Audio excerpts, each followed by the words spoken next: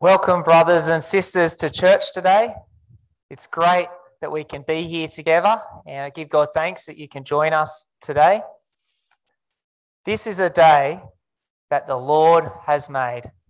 Let us rejoice and be glad in it. My name is Simon, if I haven't met you before, and also like to welcome Sashi this morning. Welcome, Sashi. Oh, thanks, Simon. Um, it's great to be here. And isn't it great that we have the technology that allows us to zoom straight into people's lounge rooms?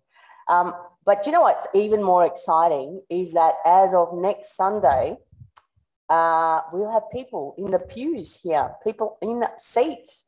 Uh, and I'm pretty excited about that. Me too. That'd be great. Mm. And, you know, as I was thinking about that um, this week, I recalled a passage in Hebrews um, that talked about that. So, can I read that to you, Simon? Please. Excellent.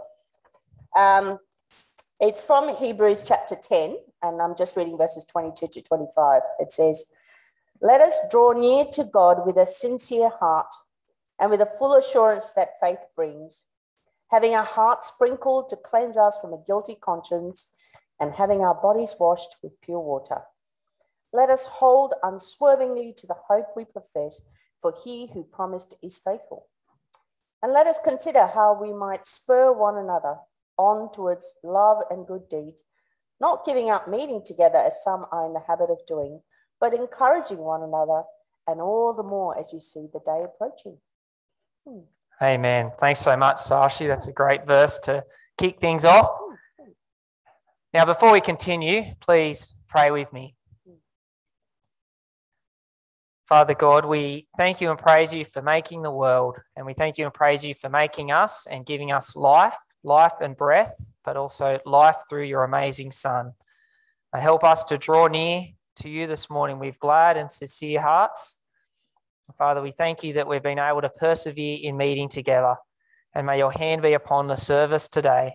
In Jesus' name, Amen. Amen. Now, Sashi, guess what? What? It's time for our kids and big kids' time. Oh, can I be part of it? Yes, I would love you to be part of it. Thanks so much. Now, today we're going to talk about the topic wisdom. Okay. Now, this is what wisdom is Hmm. someone who is wise has knowledge, but also wisdom is not just about knowledge. A wise person puts that knowledge into practice. Hmm. For example, if you make a sensible decision, Mm. that is known as a wise decision. So, Simon, is eating vegetables wise? Well, I actually got some carrots in my pocket because everyone carries carrots in their pocket, don't they? Absolutely. It's pretty normal. Now, I know that this carrot is healthy, Mm. but a wise person eats their vegetables. They just don't know, they know it, but actually, a wise person will eat their vegetables. Oh, cool. I've got another question. Is it wise to wear a bike helmet? Well, I know that a helmet's going to protect my head when Mm. I'm on my bike and if I fall off and have a crash, or if a magpie comes. So I know it, but a wise person will actually wear their helmet. Even if it looks a bit silly. Even if it looks silly and even if it's not cool, they Mm. will still wear their helmet. And Simon, is following Jesus wise? Well, I know that following Jesus is good, but a wise person, Sashi, will obey Jesus. Hmm.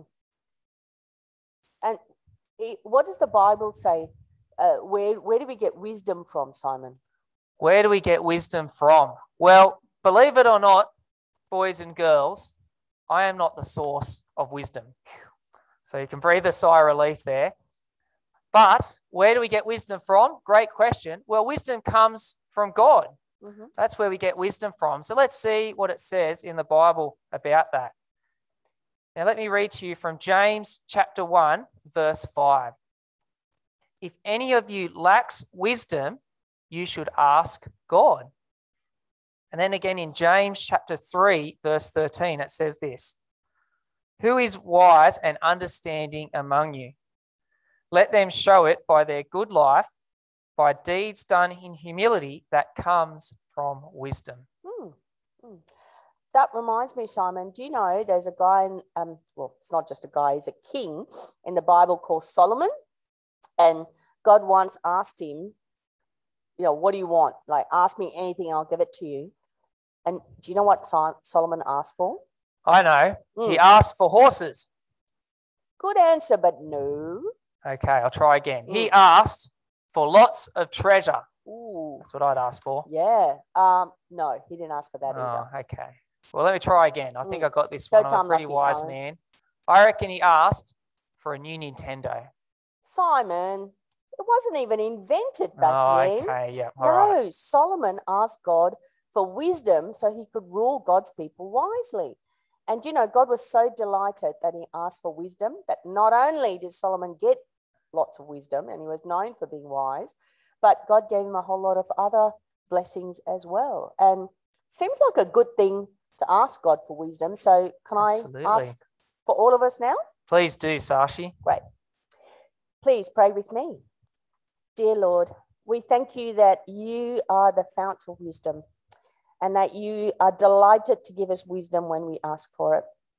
And Lord, we ask that now for all of us, that you would give us your wisdom, that we may uh, walk in this world as salt and light, that we may honor and glorify your name and be your Christ ambassadors in this place. In Jesus' name, amen. Amen. Thank you, Jesus. Uh, yeah, for giving us wisdom. We're going to have a worship song now, and this worship song is called Wisdom. Uh, so please worship along with us as we have this song. Mhm.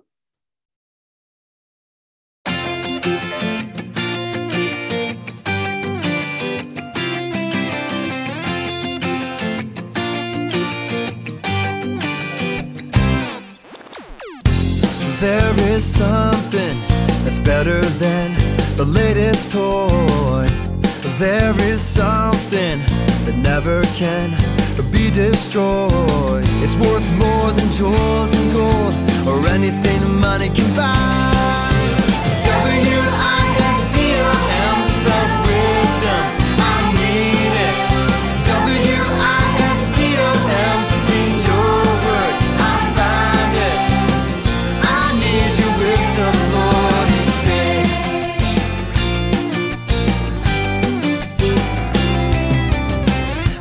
To my own self, I always tend to go astray. But in the Bible, you reveal your perfect way. You teach me to think like you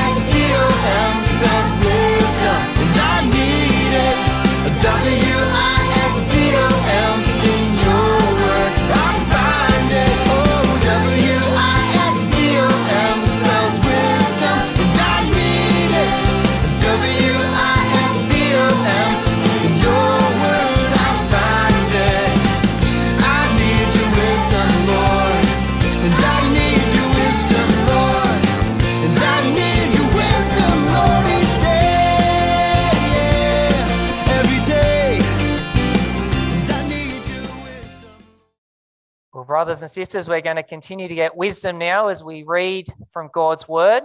I'll be reading from Psalm 15 to begin with. Uh, let me pray again. Father God, we thank you that your word is living and active. Father, we pray that your living and active work uh, will do its work in our souls today by your Spirit. In Jesus' name, Amen. Psalm 15, a psalm of David.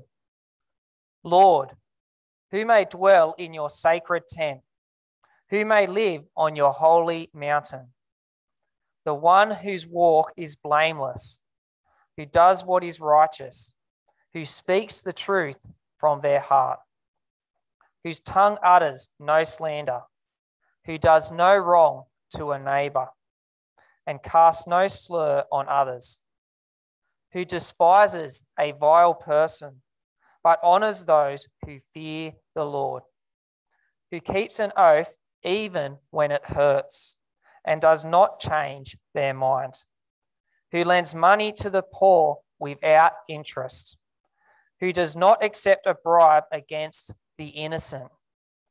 Whoever does these things will never be shaken.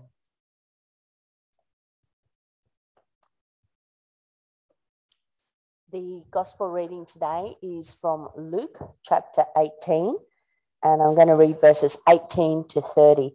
Uh, Jesus often spoke in parables and spoke to his disciples and the crowd. And in the crowd, there was someone who asked this question. A certain ruler asked him, Good teacher, what must I do to inherit eternal life? Why do you call me good? Jesus answered. No one is good except God alone. You know the commandment you shall not commit adultery, you shall not murder, you shall not steal, you shall not give false testimony, honor your father and mother. All this I have kept since I was a boy, he said. When Jesus heard this, he said to him, You still lack one thing. Sell everything you have and give to the poor, and you will have treasure in heaven. Then come, follow me. When he heard this, he became very sad because he was very wealthy. Jesus looked at him and said, How hard it is for the rich to enter the kingdom of God. Indeed, it is easier for a camel to go through the eye of a needle than for someone who's rich to enter the kingdom of God. Those who heard then said, Who then can be saved? And Jesus replies, What is impossible with man is possible with God. Peter said to him, We have left all to follow you. Truly, I tell you, Jesus said to them, no one who has left home or wife or brothers or sisters or parents or children for the sake of the kingdom of God will fail to receive many times as much in this age and in the age to come eternal life. This is the word of the Lord. Thanks be to God. Good morning, everybody. Once again, we're about to start our uh, third, uh, excuse me, our third lesson, our third message on uh, the Lordship of Jesus Christ in our lives. I must say, though, before we start, I'm really looking forward to having us all back next week. It's far more um, warm, isn't it? Be able to see eyes and see smiles and see faces, um, see responses, give responses, and we'll be able to share in that next week. And I hope you're feeling as uh, happy and anticipatory about rejoining together as I am. Let's bow our heads. Lord, you set some bars in our lives, Lord, that are hard because there's um, lordship of you in our lives. But Lord, you don't ask us to do anything you haven't done. In fact, far less. So we would pray, Lord, at this time that you'll touch our hearts, that we'll grow in our devotion and service of you because we love you, Lord, and we want to be with you. Amen. So I've done a deal with Stuart today, and it's already working. I am not touching the PowerPoint. And uh, I trust that's going to uh, eliminate all the, the errors that happen during these messages I've been bringing. Of course, next week we'll be together again and the, mes- the messages I trust will flow because of the dynamic of having us uh, all together. But nevertheless, Stuart's uh, been very kind and ha- helping me out this morning with these PowerPoints. So we're up to Lordship Law number three. Obedience is the result of salvation, not the cause of it. We're saved by grace. Grace is freely received. It is not of uh, salvation. Is not of what we deserve, and uh, that that's one of the uh, big gains the Reformation brought 500 years ago. Nevertheless, it puts us in a relationship where Jesus does care about what we do and how we live and how we act. So I want to explore that this morning because the third law of lordship is obedience is the result of salvation and not the cause of it. Now I want to recap.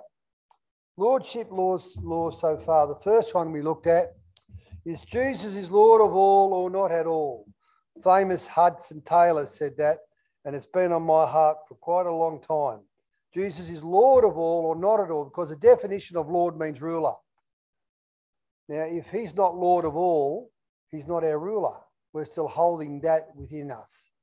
Part of our rule, of part of our lives, and the rule of our lives, we just keep to ourselves, and we don't want to submit to God.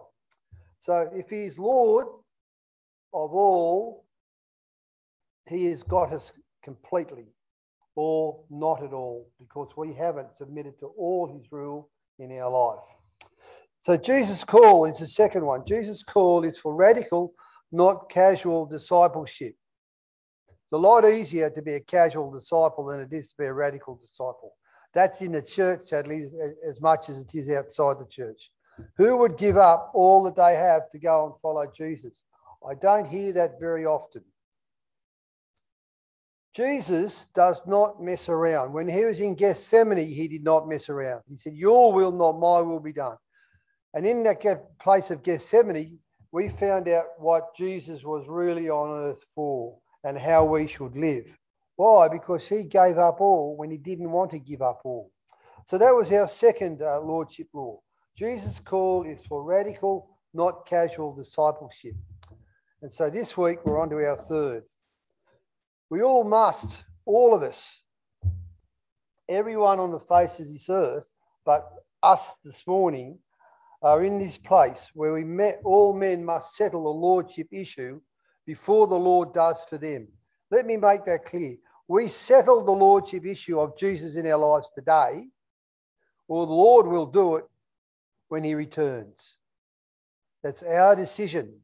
But when the Lord does it, I don't want to be on the side that's the goats. I want to be on the side that's the sheep, the ones that have been found faithful, accepting his grace and obedient to him. Because obedience is the result of salvation, is not the cause. But we don't take salvation, we don't take grace and say, Great, I've got grace. Now I can sin all the more and disobey all the more. So God has the opportunity to show me more grace. And I don't know how many times I've heard that. And it's quite a wicked um, philosophy, quite a wicked uh, belief. It's against what the Lord does for us. It's against what the Bible says. It's against Romans 6. It's called hyper grace. I don't continue to sin because I've been saved by grace.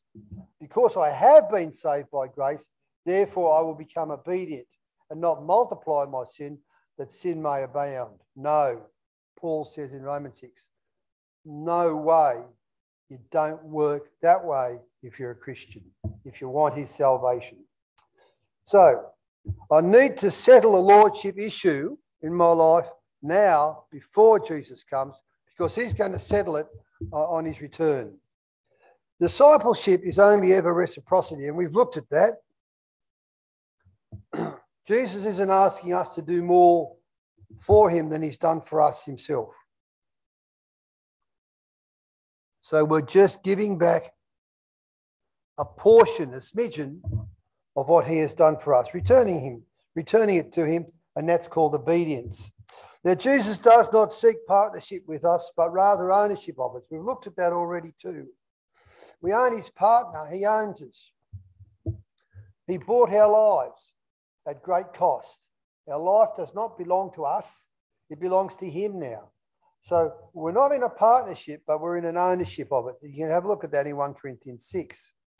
So what the Lord's teaching us, just to, re- to recall this, we give up to go up. We're not earning our salvation. but obedience is required at the other side of our acceptance of, Jesus' forgiveness. Please uh, hold on to that tightly. So I want to look now at the elements of lordship, through the three elements of lordship. Would you like a judgment day surprise and find out, oh, I thought I was all right. I thought I had this done correctly, and then find out you messed up. We're going to talk about that in a moment. Does spiritual success matter? I even wonder if this world, let alone the church, thinks in the sense of spiritual success.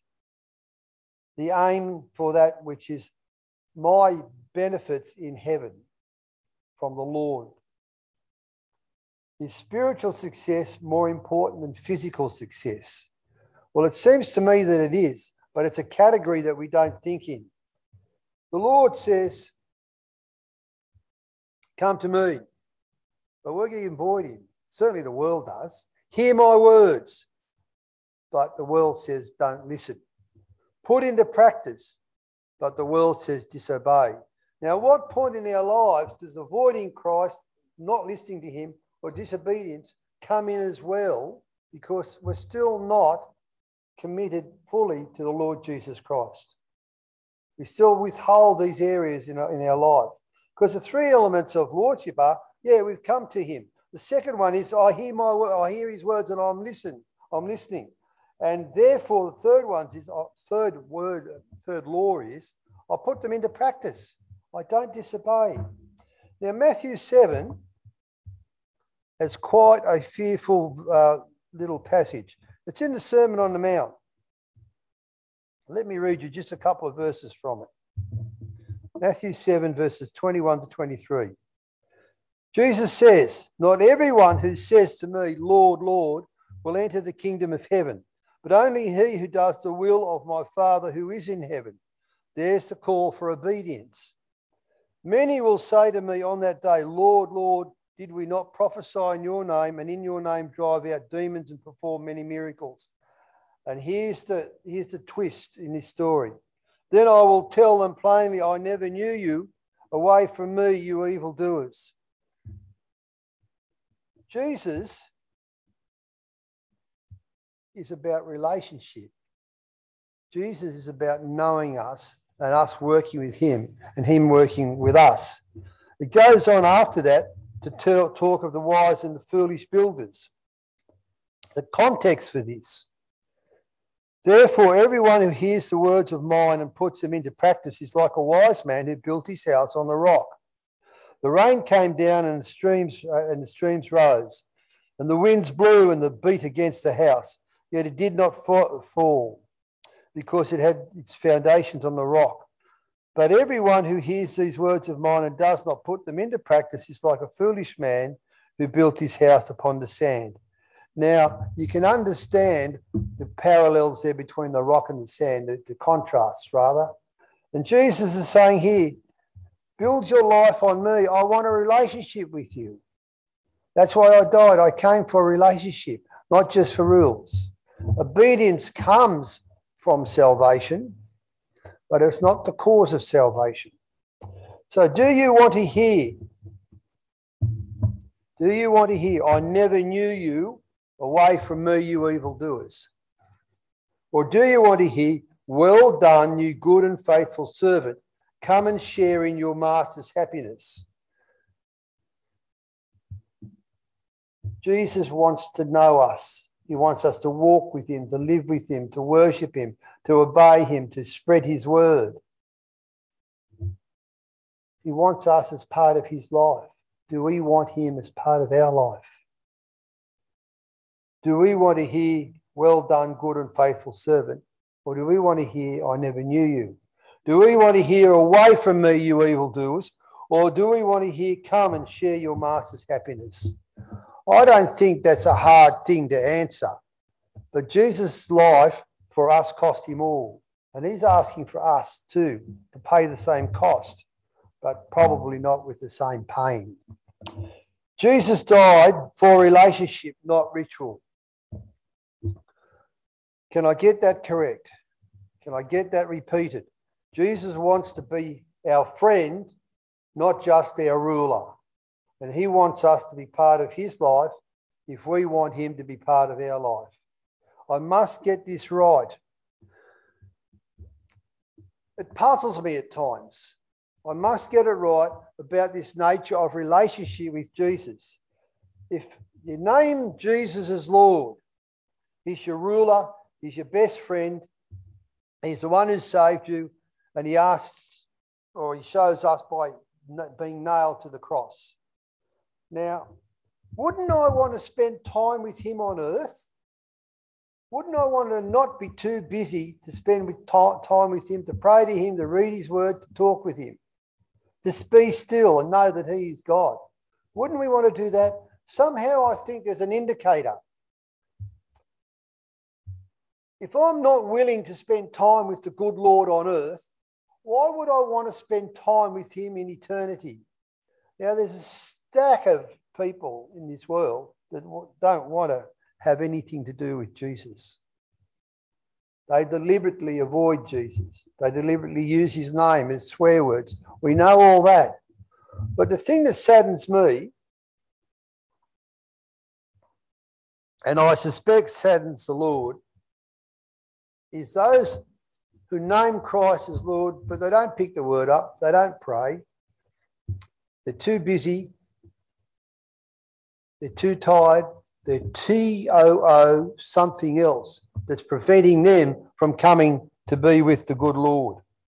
He wants us to build our life on the rock, not on the sand. We can't say we're too busy for you, Lord, because He's already given all. Jesus died for relationship, not ritual. If we can get that today, anything else after that is, is just icing on the cake. Jesus died for a relationship with me, with Geoff Taylor. And sometimes, or quite often, that befuddles me why he did. But the point is that he did. And if it befuddles you, please take the encouragement that he did die for you. He did want you as, uh, as his friend, and he does want you as his friend forever. But the tricky thing in this is if I'm not going to want to spend time on earth with the Lord now, it's curious that I'd actually want to spend time with the Lord forever. So, Jesus' Lordship. Second thing this morning is aim for influence, not affluence. Now, there's a man in the Old Testament called Jabez. He's quite significant for, for the brevity that the good, the good Lord writes about him. But Jabez was a man who's had a who's had an enduring impact because his name's written in the Bible in three verses about what he did.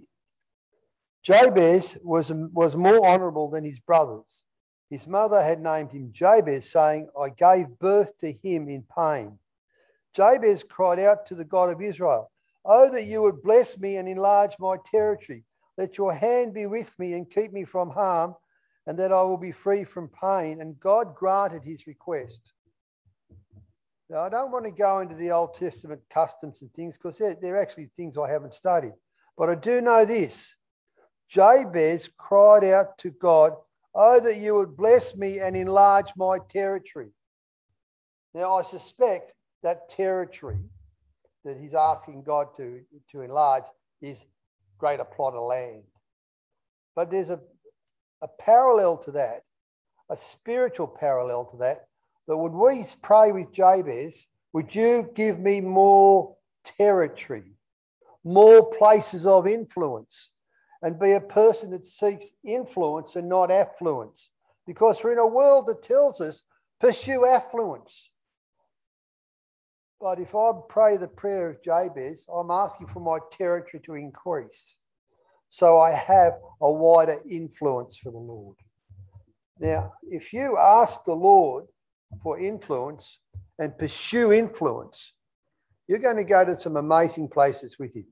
And you're going to go to some amazing places for Him. And those places first are going to be inside you. He'll show you things and teach you things that you didn't even know you could learn, let alone uh, apply them. Now, in our world, we think that uh, affluence is most important, but Jabez got it right. Jabez pursued that which was wide, more encompassing. So, what kind of influence can you pursue that's beyond the four doors? Uh, sorry, four doors, um, beyond the, the four walls of your house? What kind of influence is there beyond the, the places you work or the people you meet with? Because God's saying, well, He answered Jabez's prayer. God's saying, Will you pursue influence for me before you pursue affluence for yourself? Now, if I'm pursuing influence for the good Lord, I'm not even thinking about affluence for myself because I'm going to trust God with that because I'm putting Him first. Jesus says uh, also in the um, Sermon on the Mount seek first the kingdom of God and His righteousness, and His righteousness, His rule and His righteousness. Those two things. Then all these things shall be added unto you. Put God first in your life and don't worry about the, the affluence. Just go for the influence and trust Him to give the increase. He owns the cattle on a thousand hills. So it's not going to be hard for Him to bless you because you're blessing others through Him. God will never give you a competitor to, your, to Himself. How often have you had unanswered prayer? God will not give you a competitor to Himself. So, so he's not going to answer your prayer if it's going to make it harder for you to follow Jesus. There are weeds on your seeds. You're sowing seeds, but the prayer isn't being answer, answered. The first weed on our seeds that we sow is that if we get the answer to the prayers that we're praying, we're going to be taken away from the good Lord. He's not going to give us that opportunity to, to be lost to Him. So understand that. God will never give you a competitor to himself. Pray for influence for him and not affluence for you. It is impossible to give up too much for Jesus. It is impossible. Now, I want to just read to you a little bit of the, um, the, the end of the Luke 18 reference that was read out for us. Luke 18. It's the story of the rich ruler who had so much wealth that he was uh, able to give it up for Jesus. But Jesus says, well, Peter says to Jesus, We have left all we had to follow you. Jesus says, I tell you the truth. No one who has left home or wife or brothers or parents or children for the sake of the kingdom of God will fail to receive many times as much in this age and the age to come eternal life. Jesus is saying you can't outgive God. He who has done these things, who has left home, left brothers, left his family, left all for the sake of the kingdom of God, given up all that he has, will, will not fail to receive many more times on this earth and then eternal life. You can't outgive God. So trust Him. Trust Him in your pursuit of influence and don't pursue affluence because God's got your back. That's what Jesus is saying. And the third point I want to make this morning is partial obedience is merely, merely convenience. At best, at best, merely convenience is not, is not offering Jesus what he asks. He who give, does not give up everything he has cannot be my disciple. Now, it seems to me relationships are on the whole measured by time. Not necessarily, but the people that you like the most are the people you want to spend your time with. Does that parallel your relationship with Jesus? If Jesus is important to me, I'm going to be giving him time. The great leaders that I've read about, guys like A.W. Tozer, Leonard Ravenhill, Hudson Taylor, they were all men of great devotion. And they've had a great impact because they pursued influence and not affluence. And their names are going to be talked about until the day Jesus returns. Hudson Taylor would get up two hours before he had to start his day. And if his day was busy, he'd be up at five o'clock in the morning because he wanted to pray for two hours and read the Bible. If his day was going to be very, very busy, he'd be up at 3 a.m. in the morning because he always wanted to devote two hours to the Lord. Now, whatever, whatever Hudson Taylor did in China for about 55 years, when he's walking down the streets, the dusty roads in um, inland China, not on the nice parts of China on the coast, but on the inland parts, nobody knew then, and he didn't know then, that people would be talking about him nearly 200 years later. What he did in dusty sandals, dressed up as a Chinaman, what he did when he was sick, what he did when he was um, starving, what he did when things were going well, are all recounted and recorded. Why? Because he was a man that pursued influence. He pursued time with Jesus first. That's how you leave a legacy. You pursue influence, not affluence. Incomplete obedience is selective, selective and situational. We can choose when and where we decide not to obey Jesus. We can choose this place isn't a good place to be, but I want to stay here, so I'll be disobedient with Jesus to Jesus. Or there are people over here that don't want me to talk about Jesus, and I don't want to get in trouble for talking about Jesus, so I don't. We have our obedience is selective and situational. But if we look to Gethsemane, we see what Jesus did in both selection and situation. He's in the situation that he's facing his death, he's in the situation that, to select choice. Gethsemane proved Jesus was not selective when asked to be obedient. Jesus, uh, Gethsemane proved that Jesus was not situational. I don't want to be in this situation. I'm getting out of it now. Jesus gave all. Gethsemane is the measure of how we obey, how we decide to obey. Sadly, sadly, in uh, TV for the last 30 years, the Simpsons have been around and they've influenced too many generations now, including my own kids. I did not realise what a goose Homer Simpson was because I never watched the show. Now, Homer Simpson says, don't do anything if it's too hard. The other thing that Homer Simpson and Bart do is they always blame somebody else for what happens. They don't accept responsibility, and laziness is honoured, and laziness is laughed at. That's not what Jesus did in Gethsemane. He said, Your will, Lord, not my will be done. So lordship says all we have is but a loan. That's all. Even our breath is a loan from the good Lord. Greed can never get enough, while worry always says it never has enough. It's greed or worry that's going to keep us on the side of pursuing wealth, not pursuing influence. This is where God comes in. This is where you trust Him. Whoever gives up, excuse me, Whoever gives up what he can't keep to gain which he cannot lose is the way that we should be living. Guard against greed. Wealth is dangerous. Wealth is too dangerous because it's too hard to give up. Now, there's another little story in Luke 12. Let me read it to you. It's only short.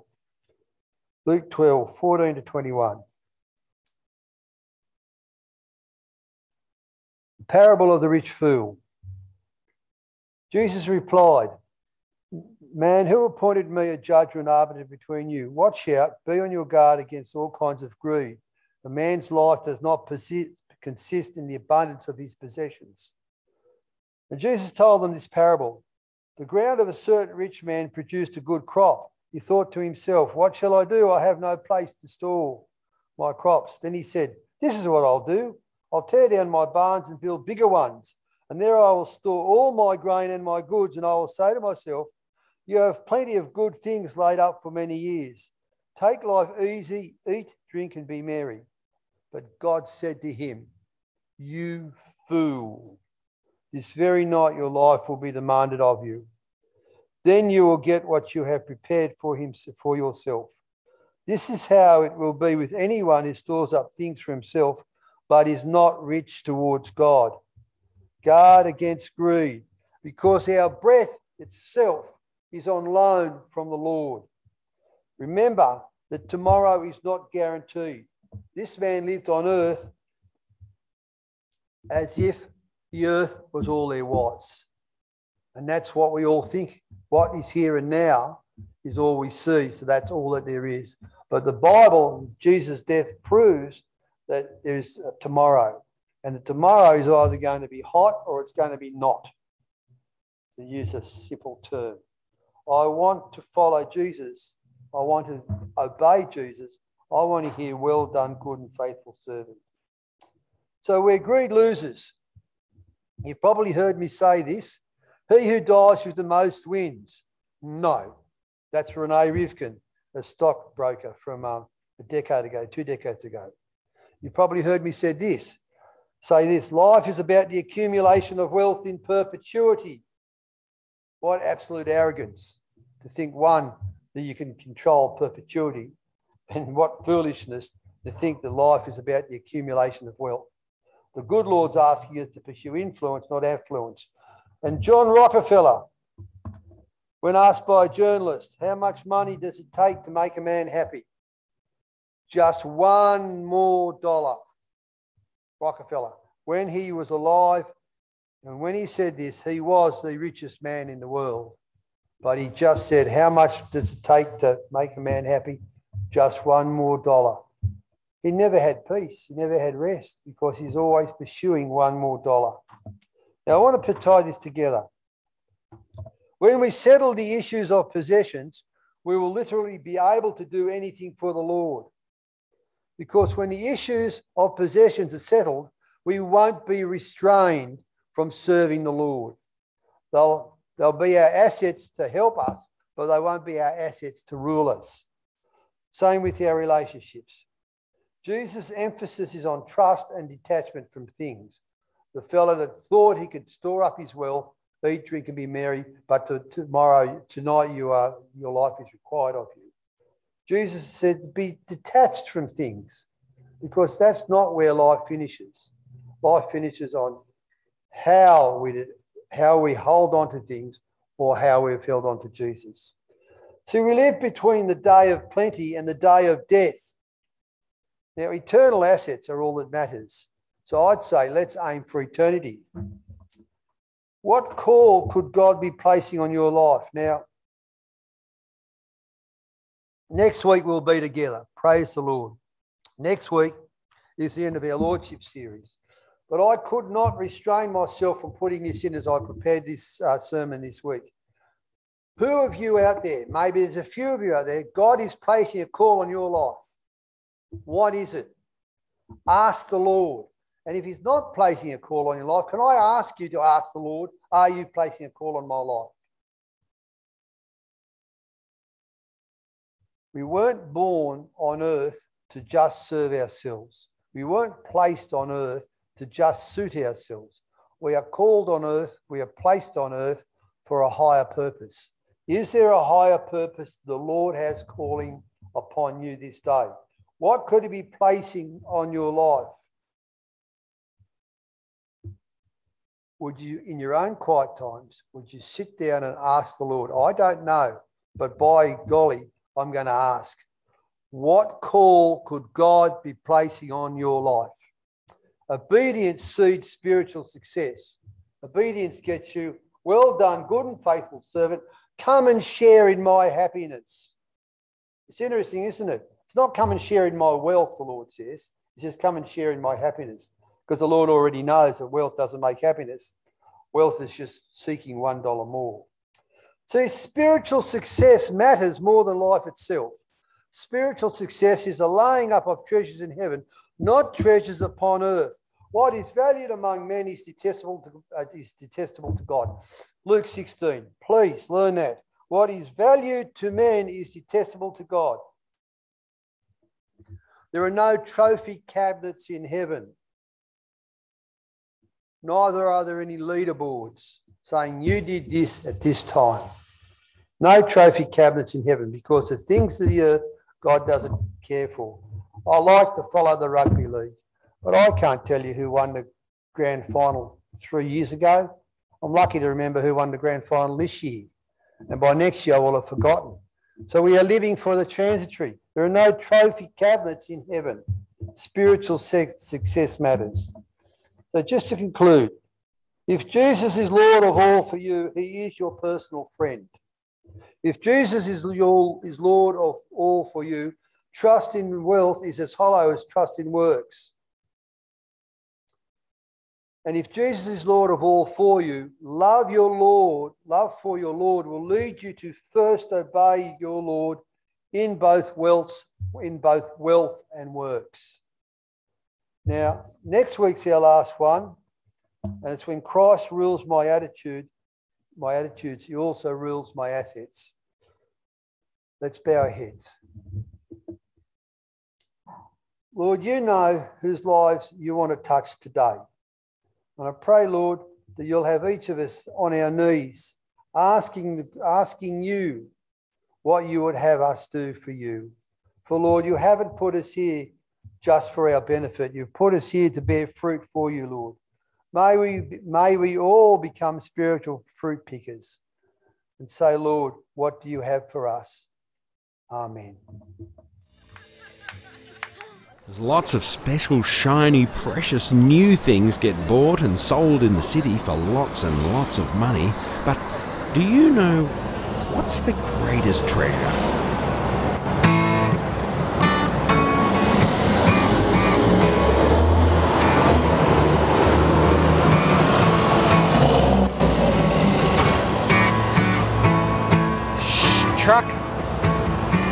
The greatest treasure in the whole wide world is peace with God. The greatest treasure in the whole wide world is peace with God. It's the only treasure that will never fade. Even death can't take it away. Yeah, the greatest treasure in the whole wide world is peace with God. For happiness or live for stuff. It's all gonna fade away. You never ever feel like you got enough because it's all gonna fade away.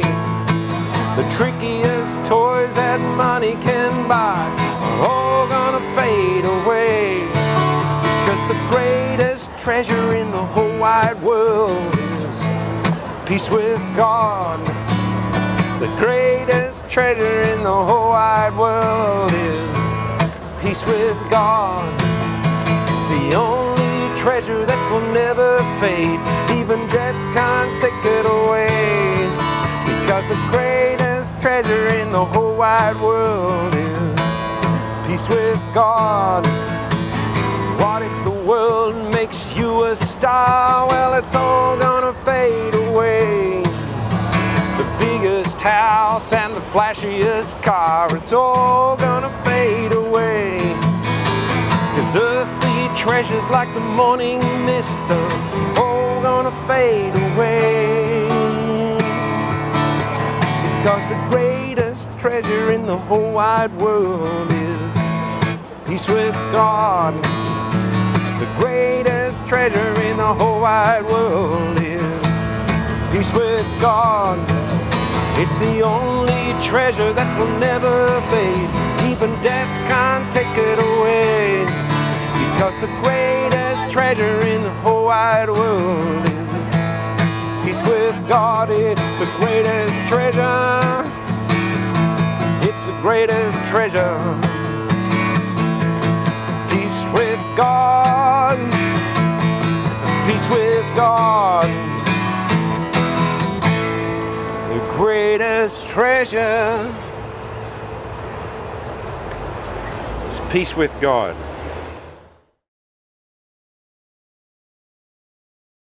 Well, guys, I just want to pick up on one thing that Geoff shared with us in his sermon. And he made a comment about how we're going to spend eternity with God. And if we're going to spend eternity with God, with Jesus, why wouldn't we want to spend time with him on earth now?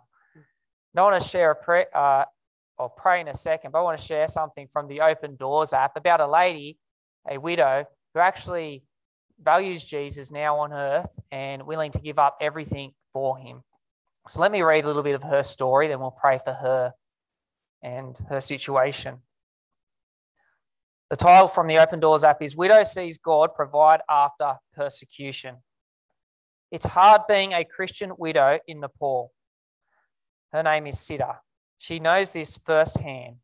She converted from Hinduism to accept Christ when her only son was healed by him. But what should have been a joyful experience led to persecution.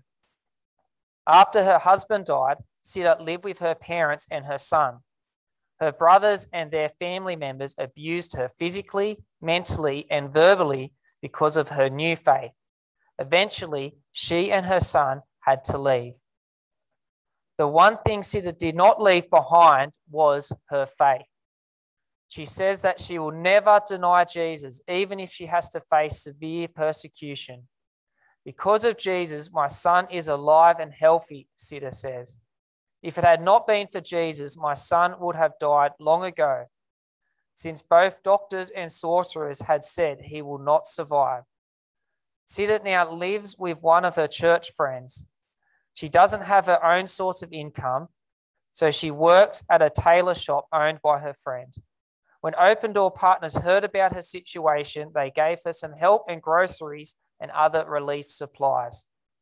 They also pray for her and constantly keep in touch with her, encouraging her and looking out for any needs she and her son may have. When she got the groceries, Sita said, I am glad you have come all the way to meet and listen to my story. Your visit has truly encouraged me. Now I feel that I am alone, not alone on this journey. I also thank God for the groceries you have brought me God bless you for your work. Uh, let's pray for Sita now and Nepal.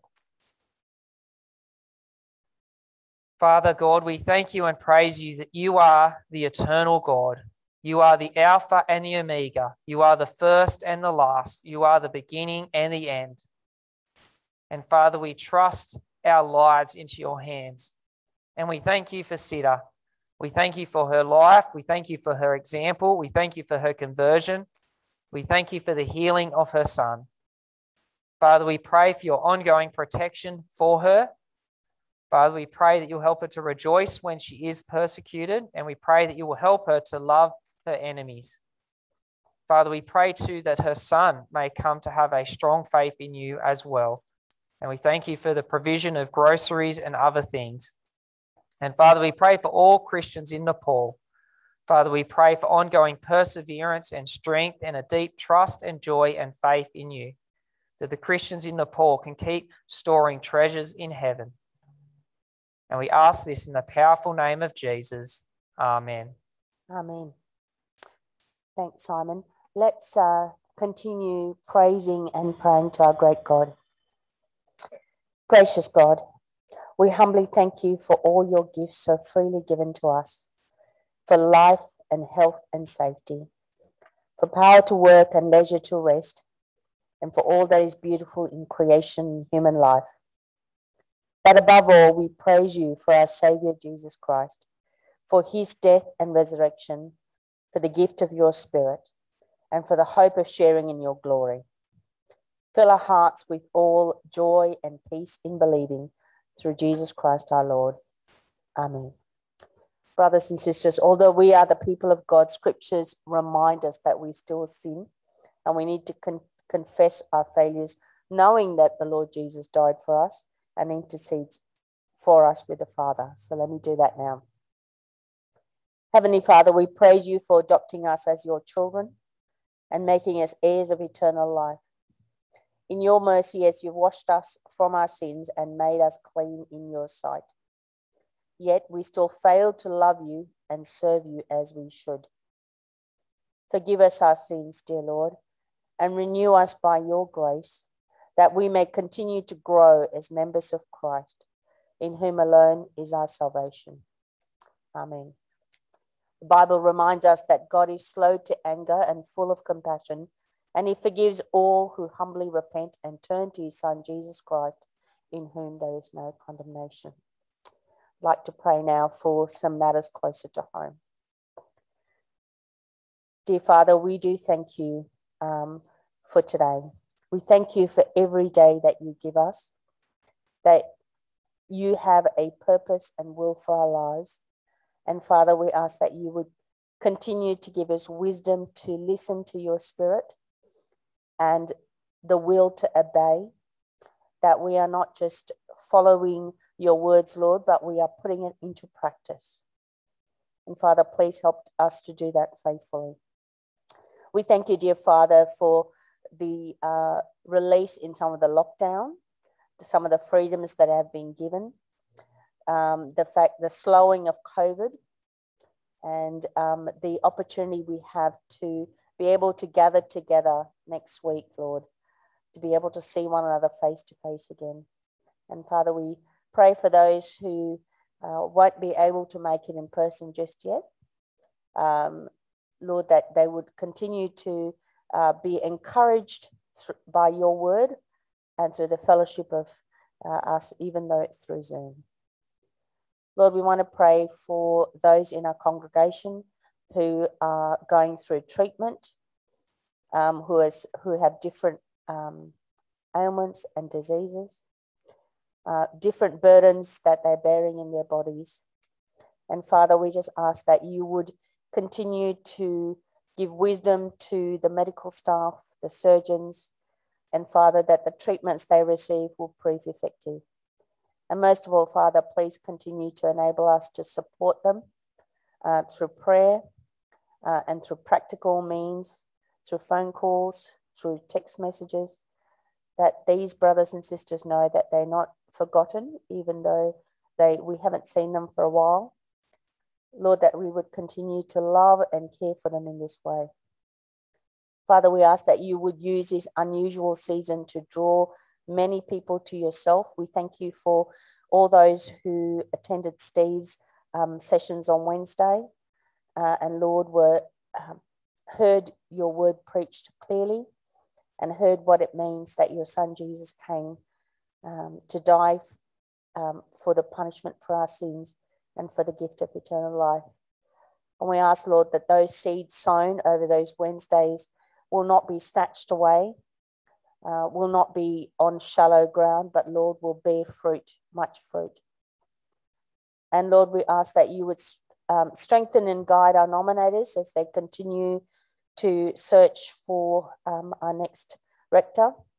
And Lord, that you might even now be preparing the heart of a godly man for this position and readying his family to come and join us. Father, please strengthen, bless, protect, inspire, and guide um, Geoff and Steve and Simon and their families, uh, for parish council, for the treasurer, and for the wardens as we work together, Lord, to serve the community here at Eagle Vale. Father, we ask that you would help us to grow in our faith every day, that you would help us to prioritize your word and time spent with you. And Lord, please continue to prompt us by your Holy Spirit that He is the comforter and truth. And Lord, that you would enable us to walk faithfully today and every day, holding out the gospel to all those who ask. And we pray all these things in the name of Jesus, our brother and our Savior. Amen. Amen. Hey Simon, as uh, as I was praying, I was remembered that remember at the start I said that we're going to meet again next week. Um, do we have any instructions about how all of that is going to happen? Can you tell us? Any instructions, eh? Mhm. Well, uh, it's very exciting news that we can meet again next week, face to face. And uh, there'll also be a Zoom option as well for those that aren't ready to do that. Mhm. So keep that in mind. Uh, so when you come to church next week, just follow normal COVID protocol. Um, you sh- I'm sure you already know uh, what that is. Uh, but that also includes we have to wear a face mask when we come to church.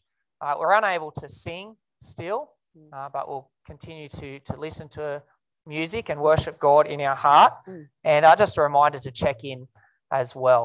Uh, so, church will be on next week. We'll have more people in the building. Uh, you're very welcome to come join us. Uh, but also, Um, if you're not ready yet, you can also continue uh, to meet over Zoom as well. Uh, so that's what will be happening next week. Great. And do you, um, actually, that reminds me, do you have any announcements about things that are happening this week? yes, I do actually. Cool. Well, we have the Monday night prayer meeting uh, that is ongoing at 7:30 p.m. Uh, we also have the men's and women's devotionals that's happening on Monday morning for the men and when, uh, Friday morning for the women. And this will be the final week of these devotionals as well uh, before more regular Bible studies resume face to face. uh, So you know about that. And also the M, the Triple M uh, will be happening on Monday, the 1st of November. Uh, that's Men's Monday Ministry. Uh, it will include pizza, and I believe Alan White uh, will be speaking at that night. So 7 p.m. kickoff. Okay, kickoff time 7 p.m. And uh, and please talk to Kevin. Text Kevin uh, if you're going to be inter- interested in that event or coming along. Uh, so these are some things that will be happening. Um, and of course, everything else uh, that happens during the week uh, will keep happening as well. Now, we're going to have a final song Okay. and we're going to continue to praise our great Lord together. And the final song will be The Life I Live. Uh, please worship at home with us.